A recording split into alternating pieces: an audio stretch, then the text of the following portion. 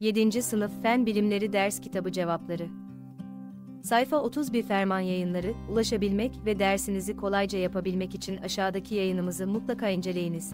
7. Sınıf Fen Bilimleri Ders Kitabı Cevapları Ferman Yayınları sayfa 31 önce bir teleskop yapmayı düşünüp bunu nasıl yapabileceğinizi tasarlayınız. İncelediğimiz teleskoplardan biri olan optik teleskobun bir benzerini yapmaya çalışınız. Böylece basit bir teleskobun nelerden oluştuğunu, yapısını ve görüntü netliğini nasıl sağladığını daha iyi kavrayabilirsiniz. Fen, mühendislik ve girişimcilik uygulamaları bir teleskop modeli yapalım projenin amacı, teleskop yaparak teleskobun yapısını daha iyi kavramak kullanılacak malzemelerin kenarlı mercek. Kalın kenarlı mercek. Makas. Katı yapıştırıcı. İki farklı fon kartonu. Yapıştırıcı bant. Projenin yapılışı projenizi, kitabınızın 17. sayfasındaki Fen, Mühendislik ve Girişimcilik Uygulama Süreci ne uygun olarak yapınız. Fon kartonlardan birini ince kenarlı merceği kavrayacak şekilde yuvarlayarak rulo yapınız.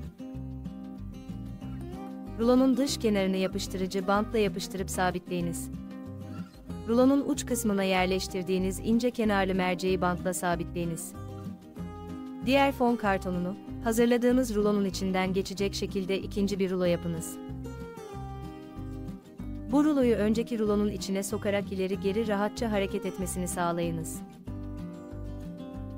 Dış kenarını yine yapıştırıcıyla sabitleyiniz. Çapı dar olan rulonun ucuna kalın kenarlı merceği yerleştirip yapıştırıcı bantla sabitleyiniz. İki rulonun mercek takılı uçları dış taraflara gelecek şekilde küçük ruloyu büyük rulonun içine yerleştiriniz. Çapı küçük rulodaki kalın kenarlı mercekten bakınız. Diğer taraftaki cismi net görecek şekilde dar çaplı ruloyu geniş çaplı rulonun içinde yavaş yavaş ileri geri hareket ettiriniz. Arkadaşlarınızın kullandığı mercekler sizinkinden farklıysa, kendi teleskobunuzla baktığınız cisimlere bir de onların teleskobuyla bakınız. Teleskobunuzla yıldızların net görüldüğü bir gecede gökyüzüne inceleyiniz. Projenin sonucu. Basit malzemelerle bir teleskop hazırladınız.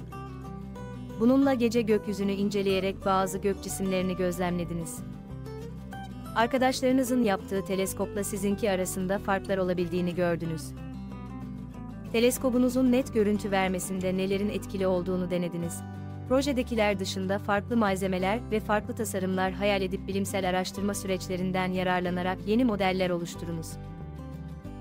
Yaptığınız yeni modelinizi yıl sonu bilim şenliğinde sergilemek üzere hazırlayınız.